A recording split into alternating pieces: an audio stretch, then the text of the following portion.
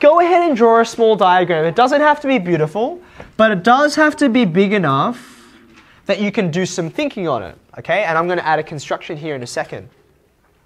So, the reason I know this can't be, they can't intend me to talk about compass bearings, north, north, east, south, west, is because look at the size of the angle, 33. Do you see it's an awkward number? It's awkward. It's not um, a right angle of anything. It's not even 45 degrees off anything. It's not even 22.5 degrees off anything. It's just this random number out in the middle of nowhere. So therefore, the only way when they say, please give us the bearing, is to use this system here, true bearings. Okay? When I measure a true bearing, where do I start from? I always start from north. So you can see that's why um, this angle is here. This angle is really large because it has to go all the way around. Okay. So I'd like you to, with your, if you've got another color, that would be nice. Mark in the starting point up from here on north, and then go all the way around until you get to the desired position. I think they're calling the starting point O and you're measuring 2P. Okay?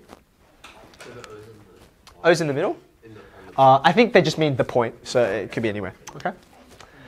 Now, let's have a look at this. There's a, at least a few different angles we have to measure in here. For instance, every time you go through a quarter rotation, a quadrant, that means 90 degrees, right? Do you agree? 90 up there? 90 up, uh, down here. What's this little one? It's not a full 90 degrees. It's going to be 57. It's the complement of 33. Do you remember that word? Complement? They add up to a right angle 90 degrees. Okay, 180 is a supplement. So I've got a total angle there. 90, 90, 57. What's the bearing? What's the bearing? 237 degrees true. Now, underneath here, just for this question, I won't ask you to do it for the rest, but now is a perfect opportunity to point it out. I want you to note language because this is a really tricky thing, especially some of the harder questions. After 237 degrees true, could you please write for me? Is the bearing dot dot dot? And now there are two ways I can say it. I can say of P from O. Or I could say from O to P. These mean the same thing. Even though the order is different, you can see it's these tiny little connecting words, these guys, of, from, from, to. They're the ones that indicate the meaning. Because the bearing from P to O is different. Think about it. It's a different question. Um, the question hasn't asked you, but I'm asking you now.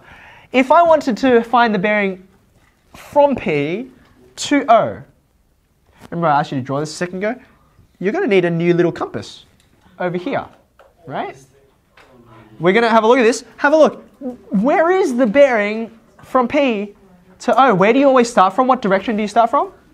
You always start from north. So here's north, up there. And you're going to measure this angle over here. I apologize that's so small. I should have made my diagram bigger as well. What bearing is that? Can you see a little construction? It's actually not 33. It's related to 33 though.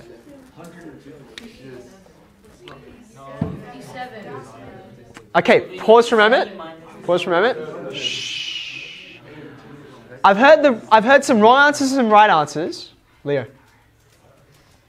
I'm less interested in the number and more interested in why.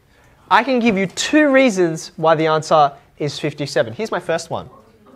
See this angle here? Do you notice it's related in a very specific way, think all the way back to year 7, with this angle? What's the relationship between those angles? They are alternate angles on because every north line is facing in the same direction. Does that make sense? Okay. So that's the first thing. There's another way you can know it.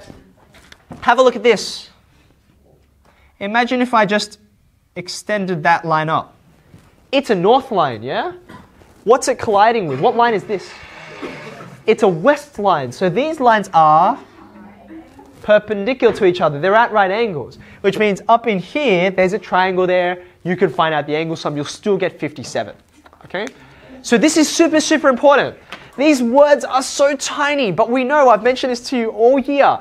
Mathematicians are so obsessed with packing lots of meaning into a very little space and being succinct that just a difference of two letters changes the answer entirely. 57 degrees versus 237. Okay, so read the question carefully is what I'm trying to indicate to you.